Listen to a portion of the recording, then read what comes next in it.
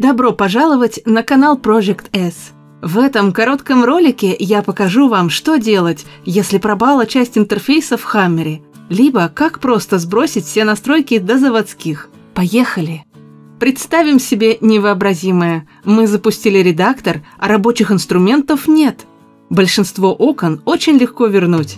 Просто переходим во вкладку View Screen Elements – и все, выбираем и расставляем на свои места родные инструменты.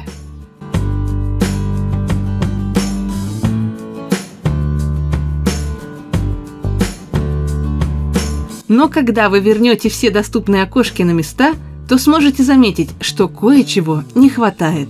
А именно кнопок Undo и Redo назад и вперед. Конечно, можно обойтись и без них, используя горячие клавиши Ctrl-Z и Ctrl-Y. Но мы же перфекционисты, и поэтому нам потребуется такая вещь, как реестр Windows. Нажимаем две клавиши вместе, окошко и букву R, после чего появляется такое окно. Либо перейдем в поиск и просто пишем «редактор реестра». А теперь очень важно пойти по правильному пути, а именно Current User, Software, Valve, Hammer – и вот там нас интересует папка Bar 1.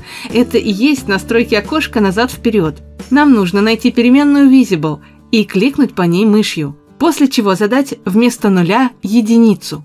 Но если вы вдруг не нашли Visible, его можно и нужно создать вручную. 32-битный параметр. Все.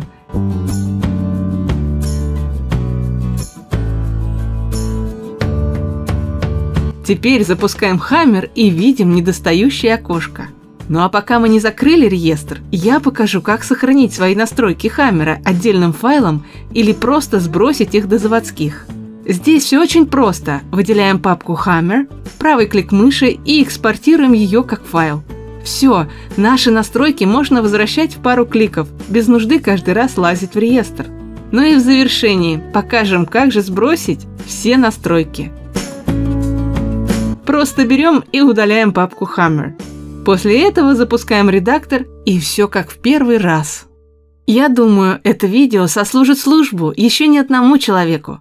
Дорогой зритель, будь добр, оцени этот ролик. И подпишись, если ты паразит, смотришь нас без подписки.